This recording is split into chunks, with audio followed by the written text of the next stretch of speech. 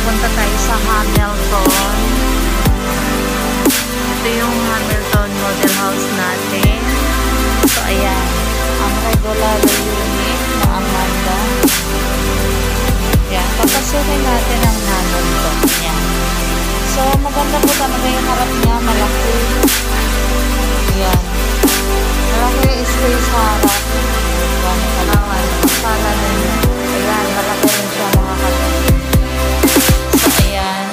Pagpasok nyo, di ba ito yung pintuan.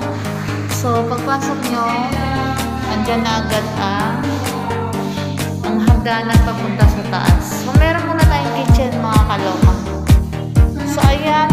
Complete on over na po siya. Ganyan na ang itsura pag ayan, ganda. So, ayan yung regular unit ng Amanda. So, bubuksan natin. At pagbukas nyo, meron na kayo, ayan, labahan. Pwede nyo nang pagsampayan. Ayan. So, ah, ganyan na po siya, mga kalota. Ayan, meron na siyang paso.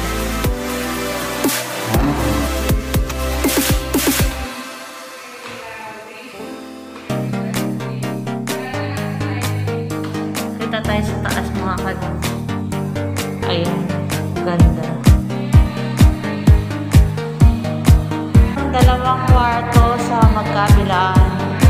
So, ito yung hagdanan.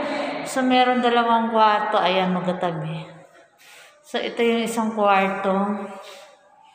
Ayan. Ayan. Tapos dito, ang isang kwarto. Ayan, napakalaki rin mga kaloka. So, mai-enjoy nyo na. Wala na kayo masyadong. So, ito yung CR.